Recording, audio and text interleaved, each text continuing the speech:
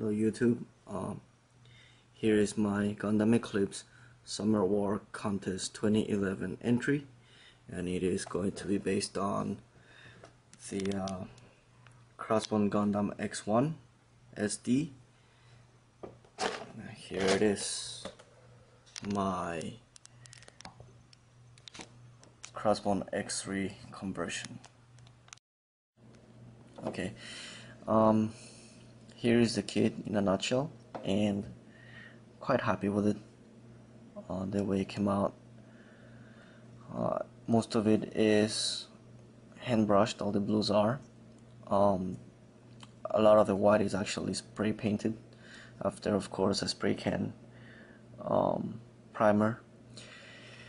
And the reason why I use spray principle is because first it's a lot of surface and second because when I was using the enamels and on the shoulders you can actually see that's actually hand brushed enamel. Uh, the white out of all the colors would start eating away at the primer. And if there were any colors on top it will also start absorbing. It. It was very difficult to work with so I, I decided to just uh, go for the spray painting the uh, whites. Everything else is hand brushed. Um, also did some lining on it too as far as the paint goes, uh, I decided to go for a more simple um, look to it. As far as lining, just minimize on the use of it.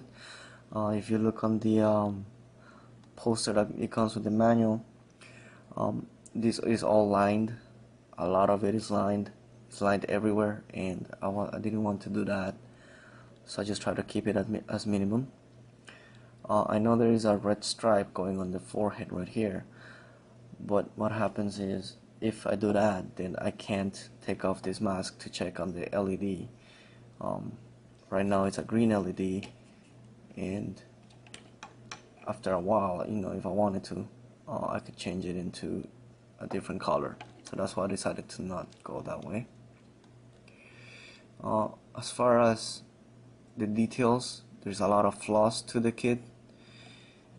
Uh, as far as my paint job a lot of um, thick paint layers here and there.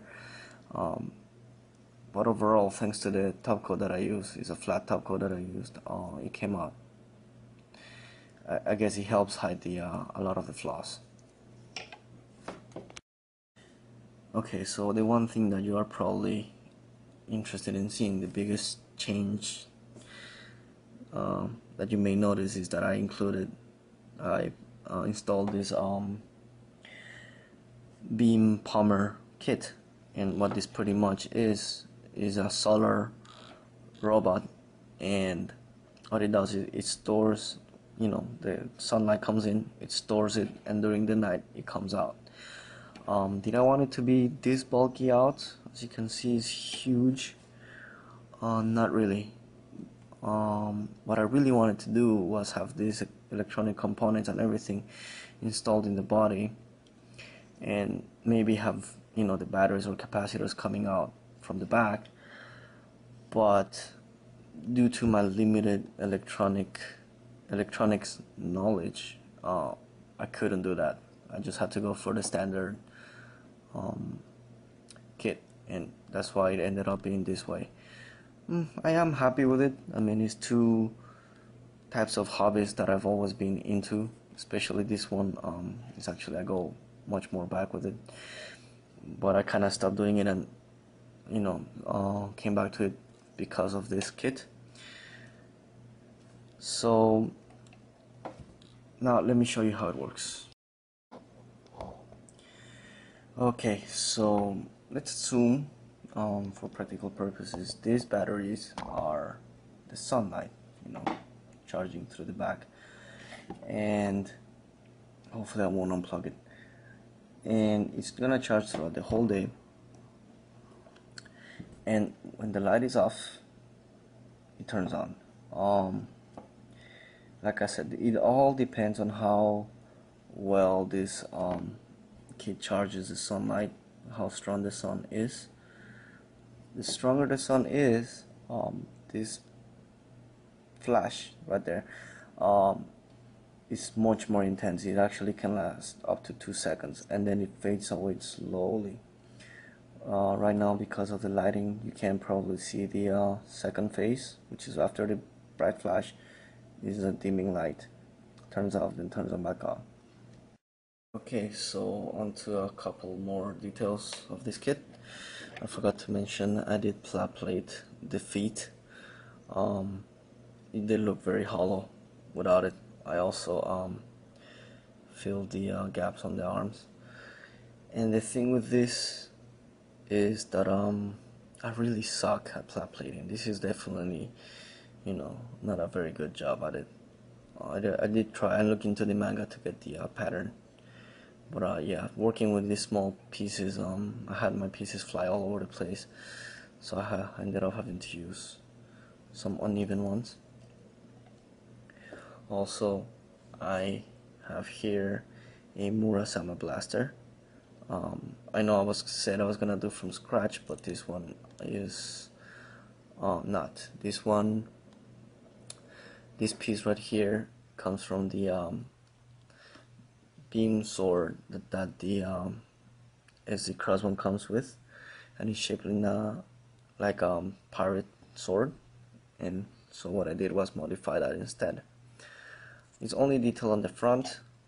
The back is pretty hollow. And actually well as you can see I'm using Blu Tack. Um, and you know just to add more volume but by itself it doesn't look too bad either. I would have to clean that up if I wanted to use it like this.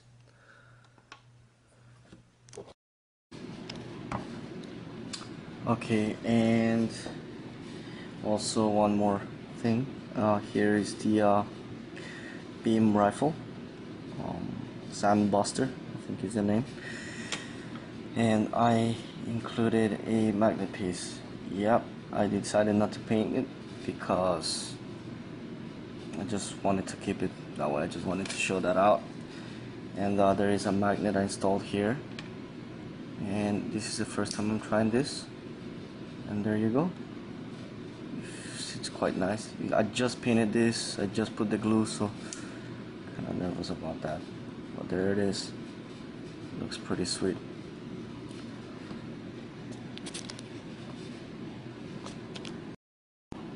And here it is. Um, the last accessory is the uh, beam shield cloth. Um, made from actually an old uh, pair of underwear that I had it's okay it was clean I think. Um, and the reason why I used it is because it has this pattern on it. And the outside is spray painted. And I'm really happy with the results. It makes it look pretty badass. Uh, have to play around with it a little bit to make it sit good. But um you know uh, it looks great. Had to make a little card extra. And I used this uh, bobby pin to hold it together and yeah that's just pretty much how I hold it. And then I usually um, display with the Murasama blaster. So this is how it usually looks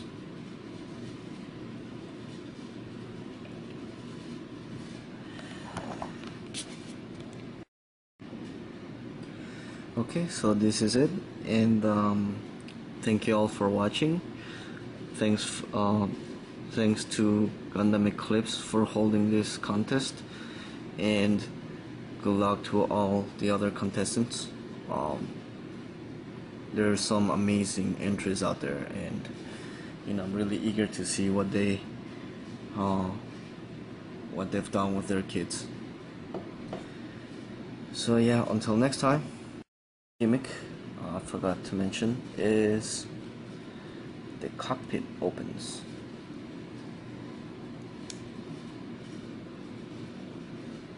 And there it is. Um, I did not paint it.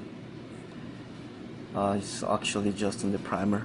And well I wanted to paint it but um, usually for the cockpit window use um, light blue. And because everything else is light blue didn't make much sense uh, so I just keep it this way. Also the other thing I had to do uh, for this thing is I also had to add a little bit of an elevation to it as you can see here. This was all done with um, green putty you know the kind of putty that dries out